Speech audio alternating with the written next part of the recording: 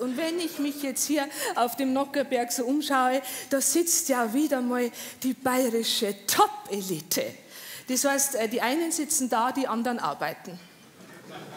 Gerecht ist es nicht, aber Gerechtigkeit ist halt leider kein Naturgesetz, sondern das Ziel der bayerischen SPD und die sitzt ja selber da. Aber das macht nichts. Der Martin Schulz, der macht es schon dabei.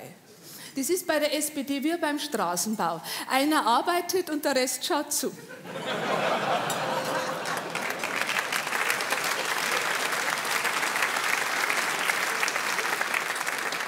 Ihr habt jetzt schließlich auch mit dem Martin Schulz einen neuen Messias. Ich meine, gut.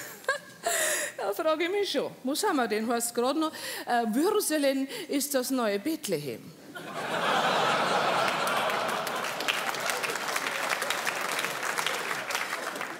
Ich meine, die CSU hat ja schließlich auch Hoffnungsträger, aber bitte nicht, dass jetzt äh, die Kameras des BR-Fernsehens wieder aus alter Gewohnheit beim Edmund Stoiber landen. Nein, den Gutenberg meine ich auch nicht. Das ist auch überhaupt gar nicht der Karl Theodor zu Gutenberg, das ist bloß der Andi Scheuer. Da darf man sich von Frisur und Brille nicht täuschen lassen. Das ist wie bei einer China-Kopie weißt äußerlich Ähnlichkeit mit, Edel, mit einer Edelkarosse, aber im Innen schwere Mängel. Ja. Beim Andi Scheuer ist die Steuerung, egal wo es hingehen soll, er landet immer entweder knietief im Bad oder in der Letten.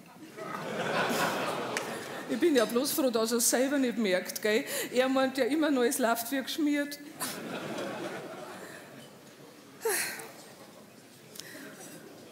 Aber es ist ja auch so, dass bei diesen Massen an Hoffnungsträgern in der CSU der Andi Scheuer wirklich eine Ausnahme ist. Ansonsten ist die CSU weltweit die einzige Partei, die mehr Hoffnungsträger hat als Mitglieder. Es gibt ja auch kaum einen Landtagsabgeordneten der CSU, der sich nicht selber für ministertauglich halten würde. Gell? Und dann all diese klingenden Namen, Dobrindt, Hermann, Weber. Äh, und natürlich unser One and Only, unser Mann aus Franken.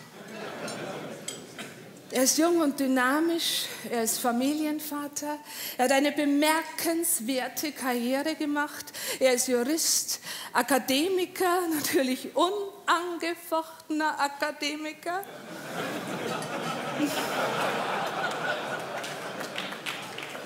Ich glaube, ihr wisst alle, wen ich meine, oder? Unser Mann aus Franken, Doktor, aber sage ich Doktor, Professor Dr. Winfried Bausback.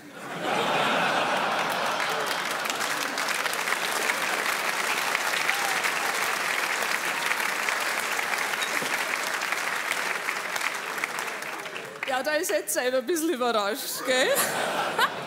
Unser Justizminister. Aber was ja äh, die wenigsten in Bayern wissen, den Bausback kennt in Bayern mittlerweile ja jeder. Ja, er ist zuständig für die teuersten Toiletten im Freistaat. Der niegelnagelneue und sauteure Hochsicherheitsgerichtssaal von Stadelheim war genau einen Tag im Betrieb, dann ist er wieder geschlossen worden, weil zu wenige Toiletten. Also da frage ich mich schon. Sechs Toiletten für zehn Angeklagte. Also Entschuldigung, da kann ein Angeklagter am Tag 14,5 Stunden auf dem Klo sitzen. Ich finde, das reicht. Oh. Das darf man ja nicht verwechseln, gell? 17 Millionen mit sechs Toiletten in den Sand setzen, das ist Stadelheim. 17 Millionen mit sechs Toiletten verdienen, das ist Sanifair.